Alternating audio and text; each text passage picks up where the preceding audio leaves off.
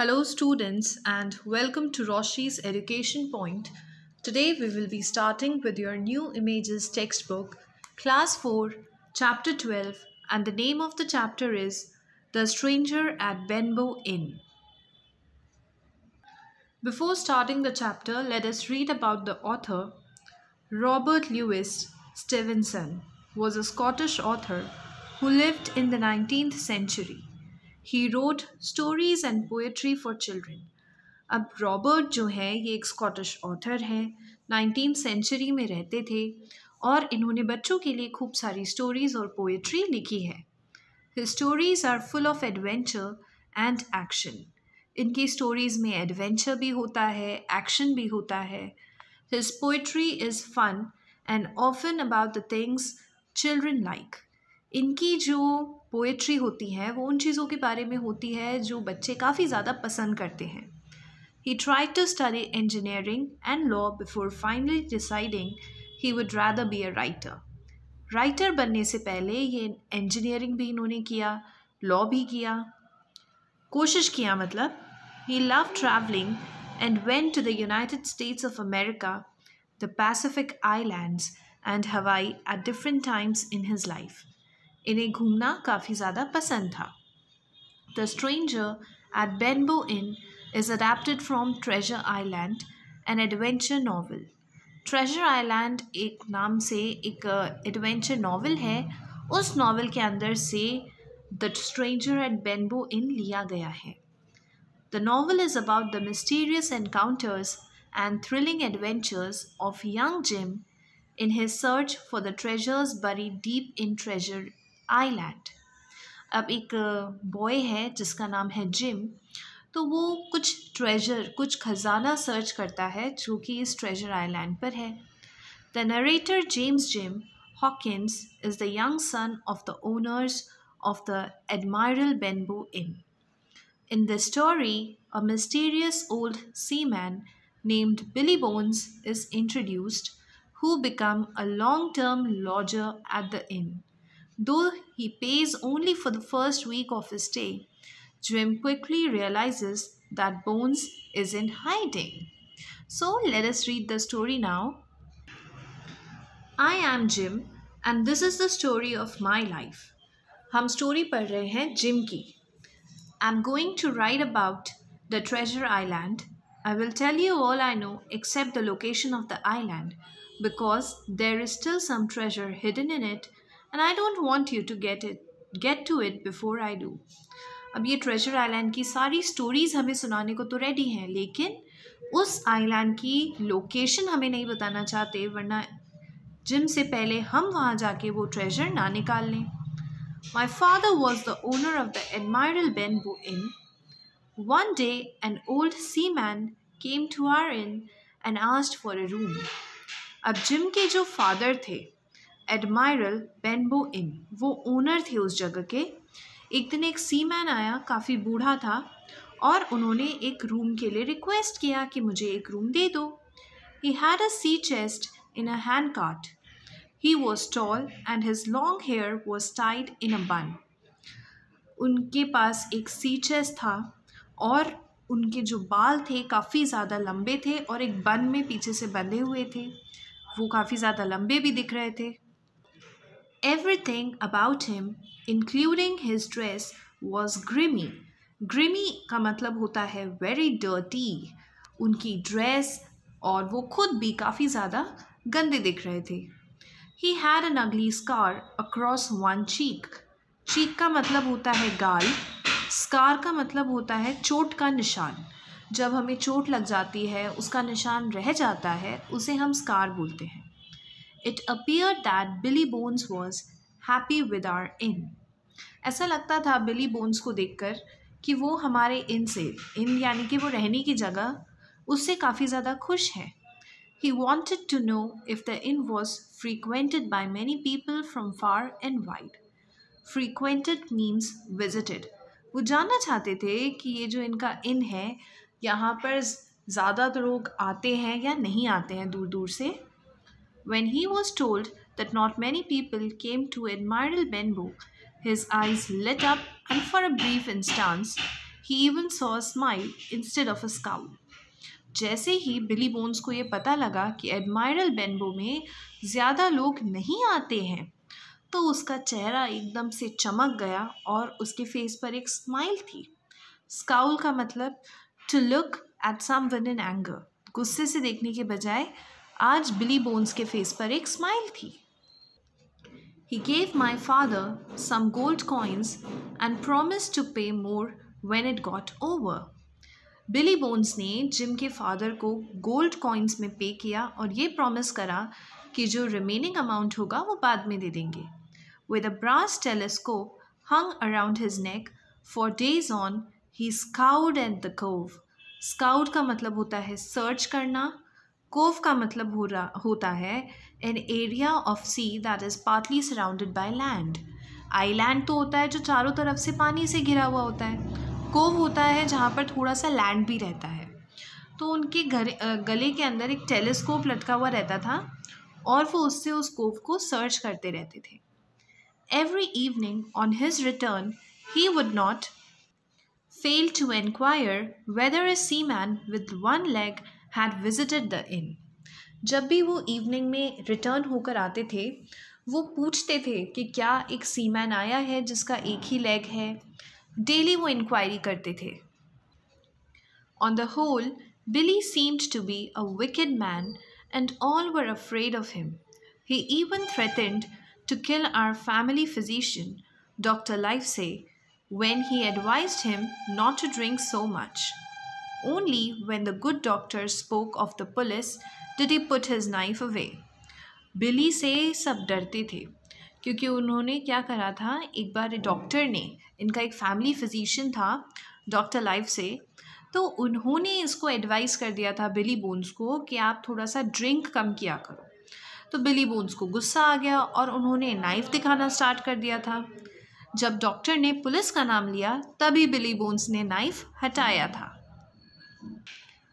All he stayed with us week after week he never offered any more money हफ़्ते के बाद हफ़्ते, काफ़ी दिनों तक बिली बोन्स उन्हीं के इन में रहे जिम के इन में।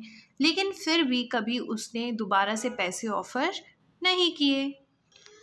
Going by the reputation Billy had build for himself my father was even afraid to press for his dues press for his dues का मतलब होता है, जब आप किसी को बोलते हो कि आप मेरे को भैया हमारा पैसा हो गया है आपके ऊपर, अब वो दे दो। तो इस तरीके से उसके पापा बहुत ज़्यादा डरते थे पूछने के लिए भी बिली बोन से।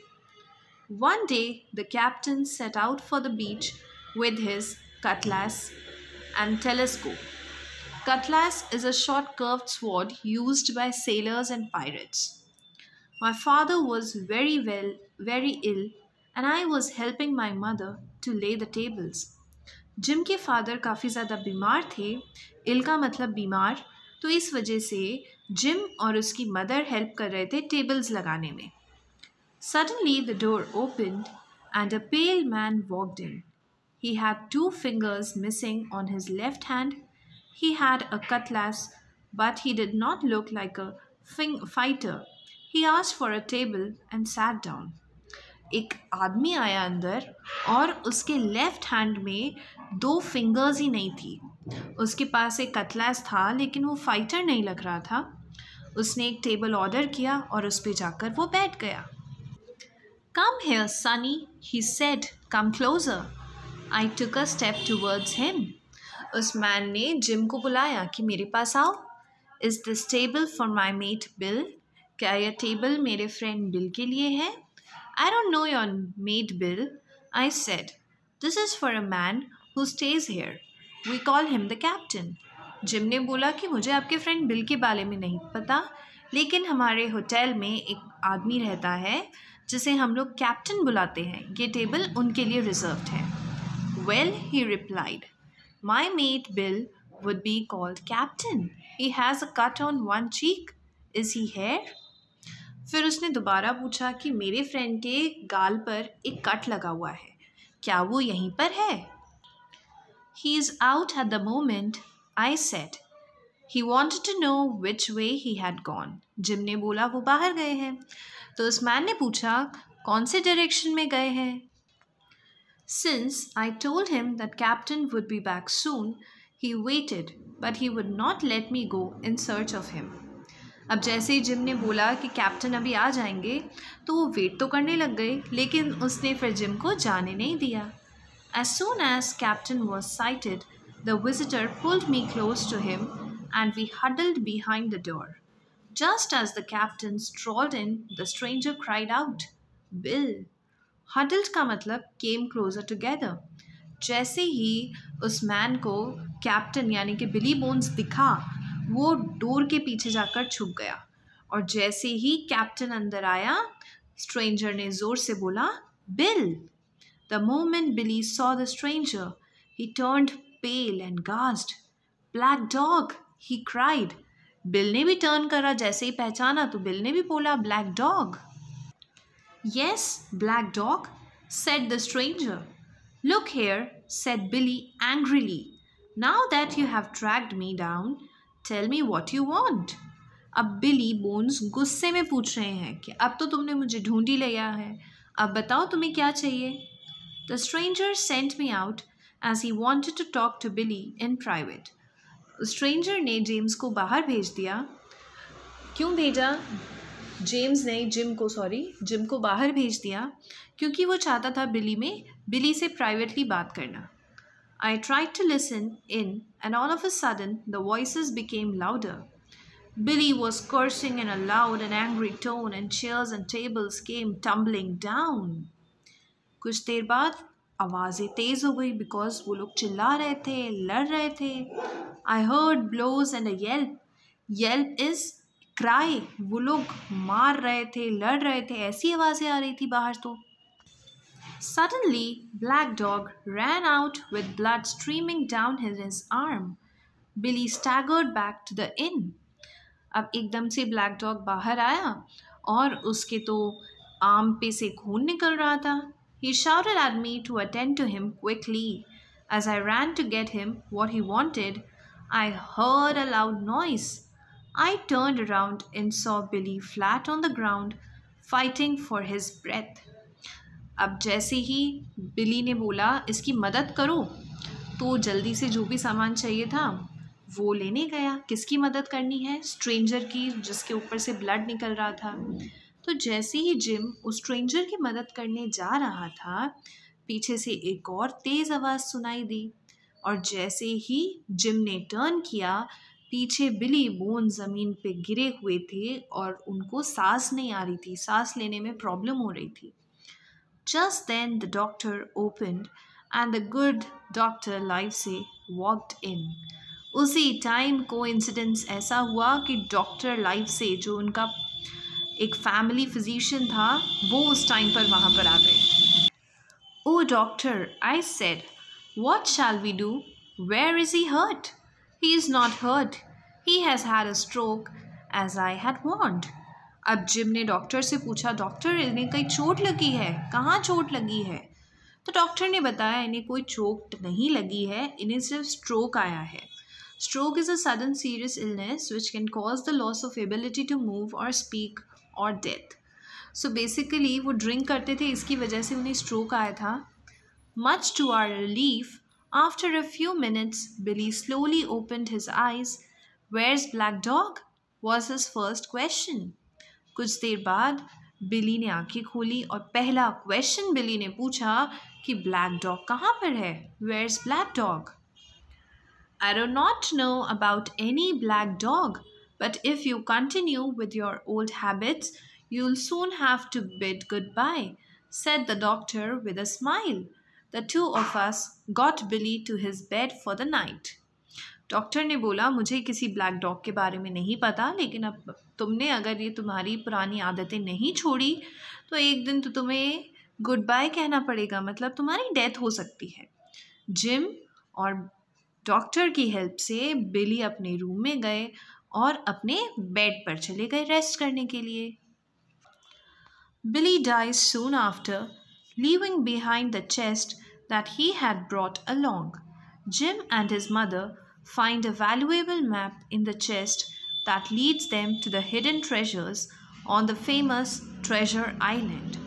Billy की जल्दी डेथ हो जाती है और जो वो चेस्ट लेकर घूम रहा था साथ में, संदूक टाइप का, उसके अंदर से जिम और उसकी मदर को एक मैप मिलता है ये मैप है उस ट्रेजर आइलैंड का जहाँ पर खूब सारा खजाना छुपा हुआ है so yes with this your chapter is completed. Now let us solve the question and answers. Number A, choose the correct answer. When Billy Bones came to the inn, he brought with him a sea chest. Question 2. What would Billy Bones ask each evening when he would come back? Whether a seaman with one leg had visited the inn who visited the inn one day when Billy Bones was out, a seaman with two fingers missing. Question 4. Where did the seaman hide when Billy Bones returned? Behind the door. Complete these sentences. Number 1. The narrator of the story is Jim, who is the son of the owner of Admiral Benbow Inn. Question number two An old seaman came to stay at our inn. His name was Billy Bones. Question number three He paid some gold coins and promised to pay more when it got over. Question number four He almost killed Dr. Livesey when he advised him not to drink so much.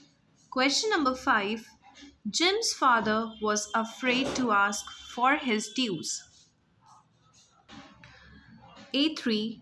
Answer these questions. Question number 1. Give a brief description of Billy Bones when he arrived at the inn. Answer will start from page number 138, first paragraph. Last say आप लिखेंगे He had a sea chest in a handcart he was tall and his long hair was tied in a bun. Everything about him, including his dress, was grimy. He had an ugly scar across one cheek. This is answer number one. Question number two What was Billy's reaction when he saw the seaman? What did he call the seaman? Billy was angry when he saw the seaman. He called him Black Dog. Question number three Why did the narrator not want to say anything about the location of Treasure Island? यहाँ से लिखेंगे आप the narrator the narrator के बाद लिखेंगे did not want to say anything about the location of Treasure Island because he does not want anyone else to get the treasure before he does. Question number 4 Jim was not allowed to be in the room when Billy Bones and Black Dog were talking, but from the sounds he could imagine what was happening. What do you think he imagined? Jim imagined that both of them were fighting with their fist and throwing chairs on each other. With this, your chapter 11 is completed. I hope you understood it. If you're having any doubt, you can write me in the comment section below. Thank you so much.